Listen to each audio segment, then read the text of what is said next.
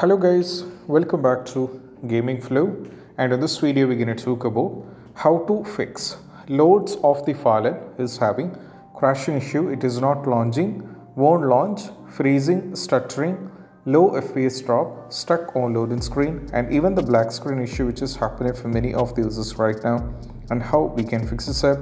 So let's dive into the workaround.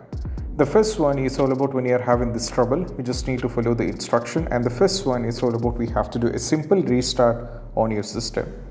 So just go over here in the start, click on the, uh, the start icon, go to the power icon over here and go for a restart. Once the restart is done, try launch the game and you have to see whether the issue is solved or not. This might work or may not work because some sometimes a simple restart can fix a lot of trouble. That is why I'm recommending you, you can try with First one you can try with a simple restart. Next one is all about nothing but we have to try with verify integrity of game file. So what I'm going to do is I'm going to skip this to the last because it's going to take a little bit of time and we'll move to the next step. Next step is all about we have to launch the game from the installation folder. So right now we are in the Steam. So launching the game from the Steam might be an issue. So we need to launch the game from the installation folder and we have two way. One we have a shortcut from the Steam that is select the game right click we have to go to the properties go to the installed file and just click on the browse. So that will redirect you to the installation folder. If you check at the top that is this pc local disk c program file x86 steam steam apps common loads of the file and from here you can launch the game. So apart from this shortcut you can also navigate directly to the installation folder. So just go to the file explorer. Now from here go to this pc now from here go to local disk C, go to program file x86, go to Steam and from here we have to go to Steam apps, go to common. Now from here we have to go to loads of the, uh, we have to go to loads of the file and select this one and go for this one and try launch the game and that is what we have to do. So just try launch the game from here. That might be working because launching the game from the installation folder, it did help it for me for the uh, games like you know Back 4 Blood even for Battlefield 2042 it did work for me and even it helped for Call of Duty Modern Warfare so you can try this out as well. Next one is all about nothing but what we need to do is we just need to set the Windows uh, language to uh, not the language we have to make sure the date time and region should be correct so before proceeding to this, I'll be showing you two more steps which can be done from here itself. That is all about we have to run the game as an administrator. So just go over here, right click and we have to go to the show more option. Go to the properties, go to the compatibility. Click on run this program as an administrator. We have to mark this, go for apply and go for OK and try launching the game. Another one, we need to run the game as compatibility mode. Go to show more options, go to the properties, compatibility now from here click on run this program in the compatibility mode. So you can set this to either to Windows 7, go for apply and go for OK or you can set this to Windows 8 and you can go for uh, apply and you can go for OK as well and try launching the game. Next one is all about nothing but what we need to do is we just need to move to the next one that is all about we need to set the date, time and region correct. So just go over here in the search, navigate to settings. Now from here go to time and language. Now from here go to date and time and make sure the time and time zone should be correct. This has to be correct and this has to be correct and this has to be correct as well. Now just go back go to the language and region.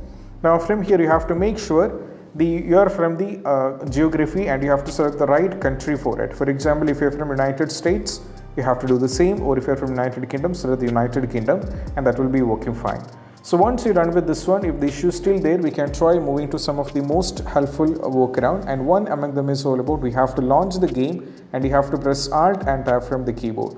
So just launch the game and press Alt and Tab from the keyboard. It did work for many users, you can try this out as well.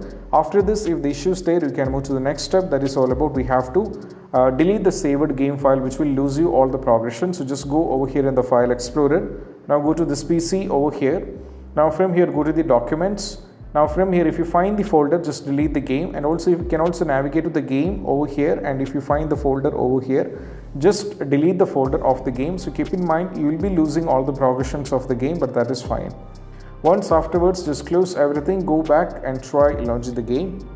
Next one is all about nothing but we need to unplug all the USB devices. So you might be connected with multiple uh, controllers, you might be connected with joysticks, you might be connected with a lot of things.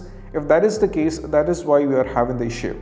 so what you need to do is we just need to unplug everything you have to unplug everything and once you unplug everything try launch the game and even if you wanted to continue with the controllers you can launch the game once you are in the game you can try connect it back and try uh, uh, continue playing the game that will be working fine.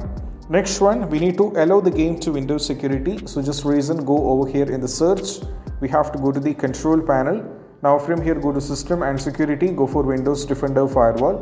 Go for allow an app or feature through Windows Defender Firewall. Keep scrolling down and navigate to the loads of file and Keep scrolling down and as you can see the Lords of the Fallen is added.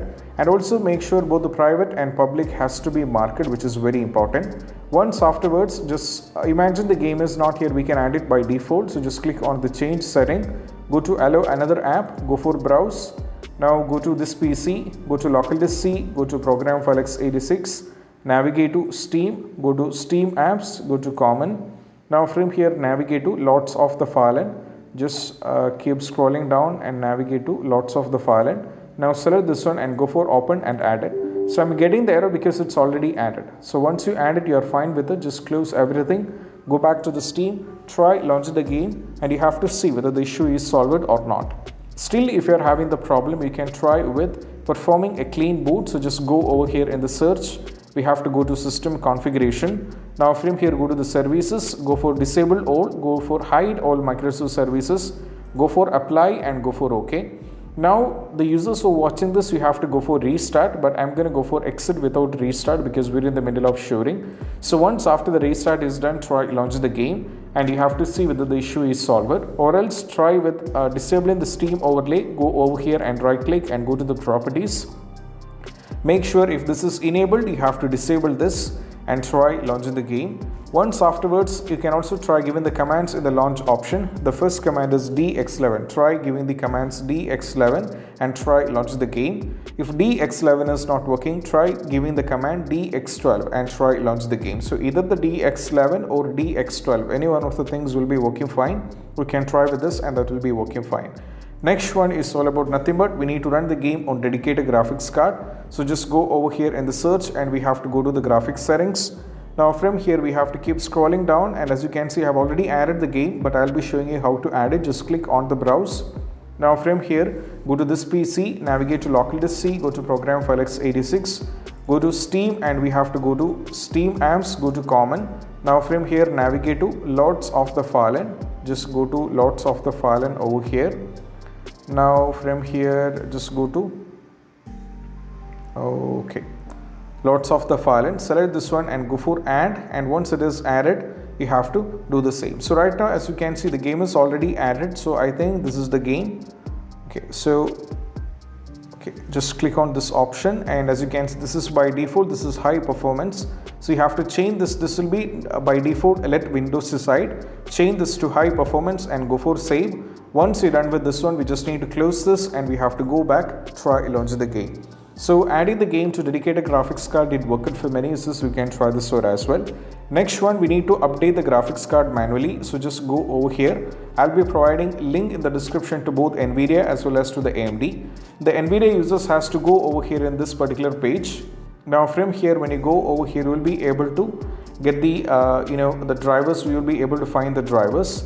So you can uh, download the driver which is latest versions can be downloaded from here. Once you download the driver you have to keep in mind you have to do a restart on your PC after installing the .exe. If the same for the AMD, if you're on the AMD just go over here, select every details over here and go for submit. Now from here in the submit you will be getting two options if you're on Windows 11. If the OS is based on Windows 11 download this one if the OS is based on Windows 10, you can download this one and install. Restart is a mandatory and try launch the game. You can also try installing the Microsoft Visual C++. So just go over here and you can see if the system is based on x64, download this one. If the system is based on x86, you can download this one, install. Restart is a mandatory and try launch the game. Next one is all about nothing but what we need to do is we just need to uninstall and reinstall the game which did work it for many users. So just go over here go to the manage uninstall the game. For reinstalling it back you have to keep in mind that you should not be installing it back on the same local disk from which you uninstall you have to try a new local disk. So next one is all about, you can also try increasing the virtual memory which is a very important step. So just go over here in the search, go to the view advanced system setting, go to the advanced, go to the settings, advanced once again, go for change, make sure this is blank and select the local disk where the game is installed and go for custom size. Set the value for initial size that is 1.5 times the total RAM and the maximum size is 3 times the total RAM. So just go over here and we need to do a calculation. So just type your RAM. The, type, uh, the RAM of my computer is 32 GB and I have to multiply with a constant value which is same for everyone that is 1024. Multiply it with 1.5 that brings you 49152. So just copy this and we have to paste it. If you're on the maximum size do the same 32 GB multiplied with 1024 sorry multiplied with 1024 and multiplied with 3 because it is 3 times the total RAM so just copy this and we have to paste it. And once you set every value over here just close everything go back and try launch the game. Next one is all about nothing but what we need to do is we just need to update the windows. So just go over here in the search. We have to go over here in the settings now from here go to the windows update. Now just update your windows which is very important. And once after the windows is up to date you're fine with it. And you can also try you know these are the possible workarounds which can be done when you're having an issue. Like i said there is one step which i left that is verify integrity of game file. So just go over here in the game right click and go to the properties. Click on install it file and just click on the verify integrity of game file. So what happens is this will cross check every single files of a game and if any files are corrupted and if any files are missing you will be having the issue. So what happens is uh, this will cross check uh, every single files. And you know once after the verify integrity of game file is succeed you can try launch the game and that will be working fine. So these are the possible workarounds you can be done. I hope this video is helpful. And if you find this video helpful don't forget to subscribe and click on the bell icon for more notification. See you soon in the next video. Peace out. Bye bye